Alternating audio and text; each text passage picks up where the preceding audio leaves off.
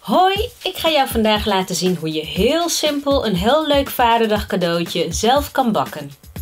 Ik ga aan de slag met een pak chocolade lava cakejes mix, gekocht bij Jumbo. Leuk om gewoon eens een keer heel simpel tussendoor te maken. Ze zijn gewoon echt heel erg makkelijk om te maken. Maar het is bijna vaderdag en het is ook heel leuk om te maken voor vaderdag. Dus vandaar dit idee van mij voor jou. Op de achterkant van de verpakking staat bij zelf toevoegen wat je nog nodig hebt. Twee eieren en margarine om de vormpjes mee in te smeren. Nou, in plaats van margarine ga ik gewoon bakspray gebruiken om het in te spuiten.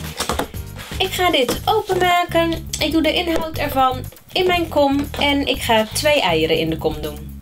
Dan ga ik hier nu mee naar de keuken en dan ga ik mijn mixer gebruiken om alles goed te mixen. En dan ga ik ook meteen mijn cups, deze komen gewoon uit het pakje, ga ik insprayen met bakspray. Ga ik allemaal doen, kom ik zo weer terug.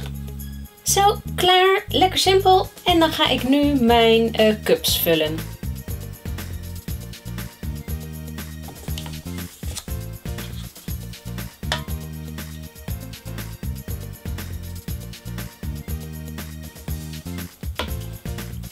Klaar voor. Het kan nu in de oven. De oven is alvast aan het voorverwarmen, dus het gaat erin en dan ga ik je zo meteen het eindresultaat laten zien.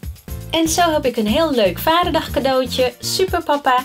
Ik heb gewoon twee vlaggetjes gepakt. En op een uh, stukje papier heb ik dus een, een, S van super en de P van papa getekend.